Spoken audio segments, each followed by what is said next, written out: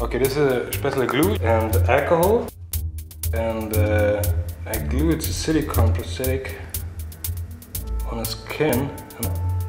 And you see no edges. I use only now as a base car.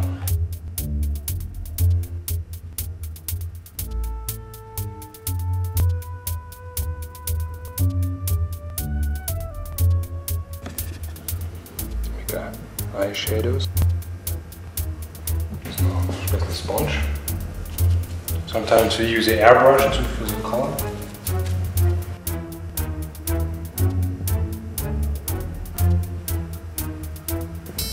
Some can go here, maybe make a cut now here on the eyebrows.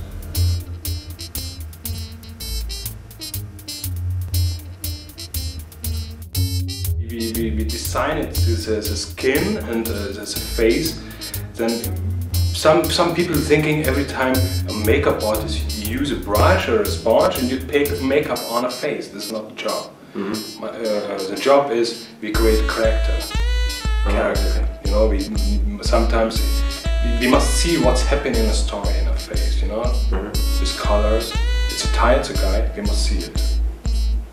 Uh, it's a it's a happy. We must see it. It's sad. We must see it. We help. It's only a helping with little eyeshadows or make more thinner. More, more. It's only a helping to anything. You know, you can design a wound a lot of blood on, but very careful. Then you use too much blood, you don't see the wound.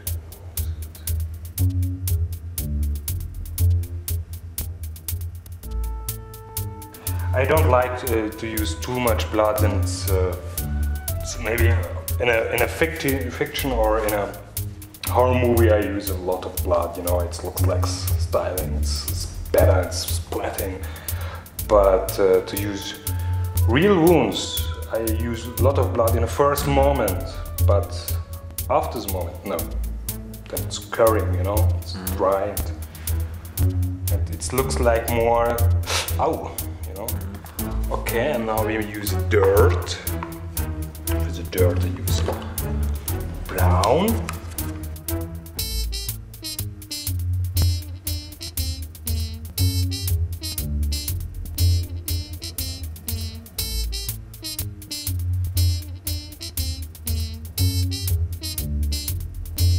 I like to make um, sometimes the eyes a little bit darker. Put the dirt on with alcohol and you put the dirt at the pores. It looks like it's not so fresh the dirt. It looks like you have the dirt maybe for two weeks.